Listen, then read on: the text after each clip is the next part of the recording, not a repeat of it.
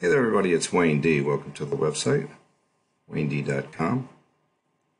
Today we're looking at the great Australian champion Peter Thomson. That will be Thomson without a P, as you can see. Pretty underrated player. He won the British Open five times. One of the times was in 1965 when the Americans started coming over. And he beat Jack Nicklaus, Arnold Palmer, and and Tony Lema. The other ones were in the 50s, and when the Americans, uh, they didn't really come over very much. Wasn't enough prize money for the guys to make the trip. But he won 84 total tournaments. He won the New Zealand Open nine times. But the, the really cool thing about Thomson is he came over to play the U.S. Senior Tour for a year and won nine times in 1985. And having proved his point, he went back home. So this swing on the left is the best uh, angle. The camera's too high, obviously, but it's uh, stable, and it is pretty much right on the hand line, so we can check it out and actually draw some lines on it. And we'll see how good this is. I, I put that picture on the right up there because I wanted, uh, wanted you to check out Thomson's grip. It's very strong, which, you know, you see that these days. So he's at impact is achieving a, a line of compression there with a drive hold type release, but the grip is strong enough that the left wrist is still flexed back, although that would be what my friend Jeff Mann would call a geometrically flat left wrist, because if you take that strong grip and you move it into an impact position like that, it's going to be bent back and not bent forward. If you bend it forward, you're going to lose a lot of loft. Anyway,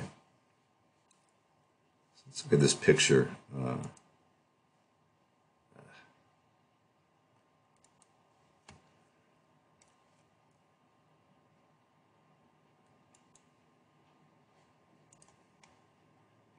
always do that.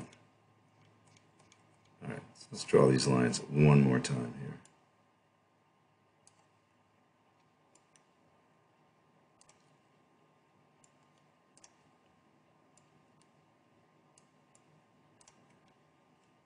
All right, now when the camera's too high, the club usually appears to come underneath the, the shaft line, which is why you have to be careful with what you say about what's going on, depending on camera height and angle, but we can see that it pretty much comes up right up the plane, and at P3 that shaft is pretty much perfectly on plane. Like you can see the depth in the right hip.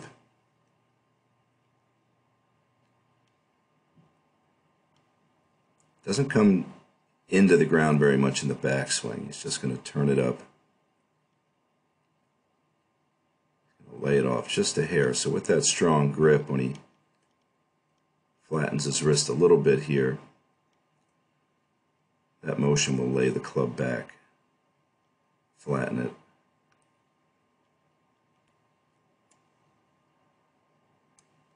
And it's in transition where you'll see the head drop. As he's going to create more room, see the depth remain in the hips. This is is some of the best leg action that you'll see. Look how deep that is. Keeps his head out over the ball very nicely. And then that club comes down pretty close to his original plane there. It is a hallmark of great ball strikers, that right arm bent into and past impact, straightening to the left. There you see the left release over here.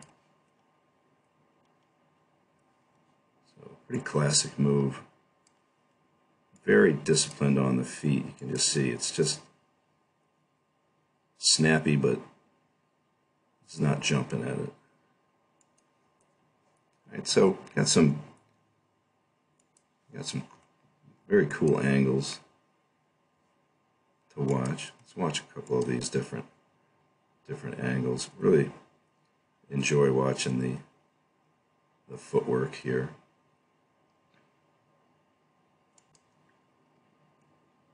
So here you can see the wrist is fairly neutral here. The face is a little bit on the face in the sky side, and that just gives you an idea that the grip is pretty strong. And then the hands out in front move. This is Hogan's sidearm throw. This swing, I would say, is is quite reminiscent of uh, of Hogan.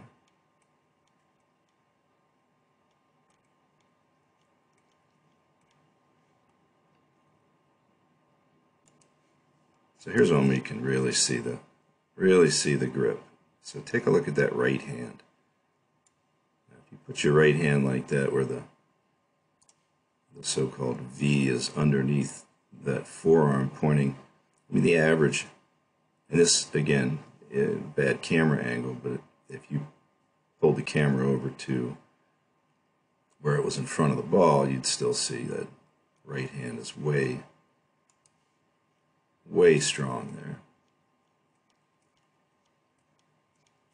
So a couple other things to, to mention here. We see a, a definite rocking to the right in the backswing. And then in transition, that right leg is going to reverse direction but stay back. And you can tell by the footwork how deep that hip is because that right foot is going to bend in this way. And if he was driving his knee up toward the ball, that's not going to happen. So once that gets the hips to move a little bit to the right in the backswing with a little head movement, so he's loading definitely to the right, and he's going to start right about P3 to start moving back to the left and catching that backswing. So you're going to see that right hip move from where it is here in transition. It's going to move immediately quite a bit. You'll see this more in the in the old style swings, the more leg drive in general. So he's set up with his left foot a little bit outside of his hip. Again, camera angle's a little off here, but when that left foot's outside the hip, then you can shift pretty much and the foot won't appear to roll over as much, but you can still see how the feet go inside ball of the right foot, outside edge toward the back of the left foot. So great sequence. It's got plenty of lateral movement. The head stays still. Really nice look there. So here's a picture from another angle. This will give us an idea of with an iron shot how we had that club pointing well to the left and then right back at it.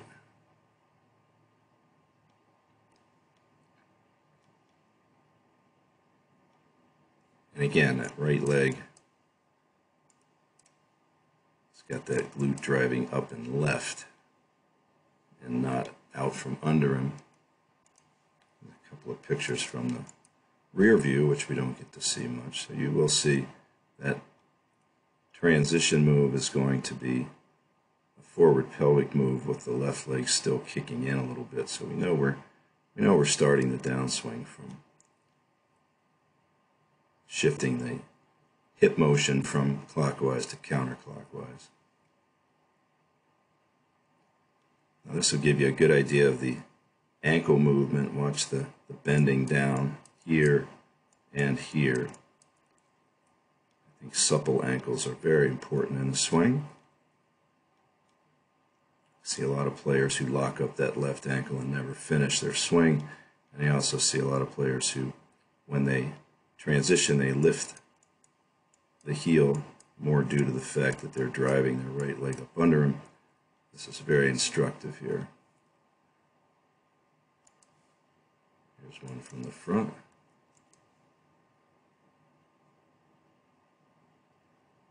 Again, see a little jog to the right in the backswing. And while he does that a little bit, he does not allow his right foot to roll over. Big deal there. So now he has a nice base to come from.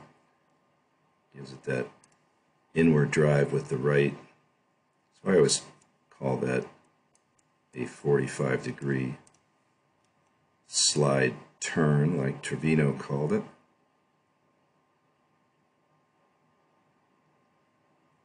Somebody made a comment on, uh, I think it was on YouTube, said Trevino also called it a the hula shift.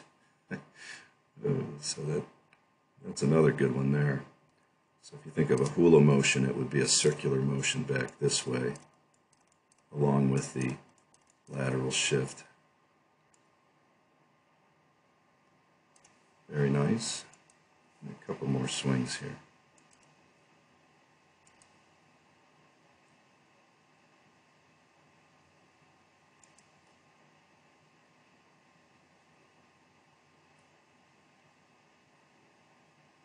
Here you can really see the sequence. You're going to see the back muscles remain where they are while the pelvic, oops, the pelvis begins to rotate back over this way. So you'll see this guy and this guy are going to stay put. And that's the essence of sequence. We want to start with the pelvic movement against the brace of the right foot, and we want to leave the hands right where they are. In that case, that shaft really is pretty much guaranteed to flatten a little bit because the rotation in here is going to take that left shoulder and move it around right away.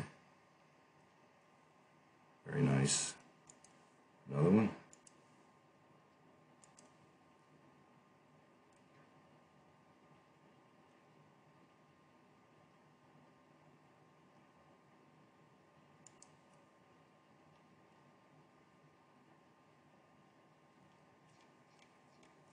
So as you watch his left heel, doesn't really lift it up very much. Again, sort of like Hogan, where Hogan said that he didn't really care if it came up, and if it did, it would be uh, a small amount. So Thomson really is, is kind of doing that. But the key is that when he does lift his heel up, he's still on the inside ball of that foot. So the knee is kicking inward.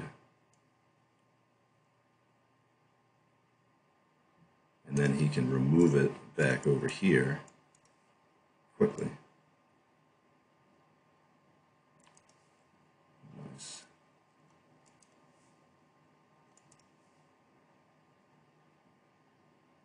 So that's pretty amazing. First or second in the British Open, seven straight years.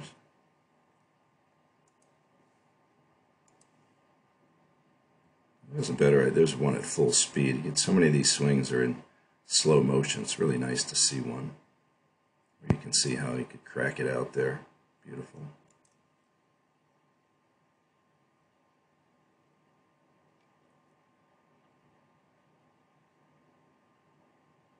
So that's a really good example of anybody's going to tell you that the downswing has started with the left knee or the left hip. Mm, they're just wrong because you can see this downswing is transitioning right here while the left knee is kicking inward.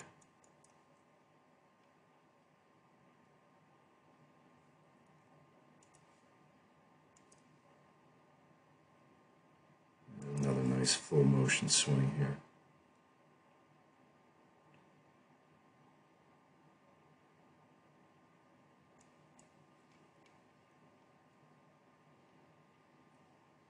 There you can see a really a good picture of the left heel as it lifts a little bit.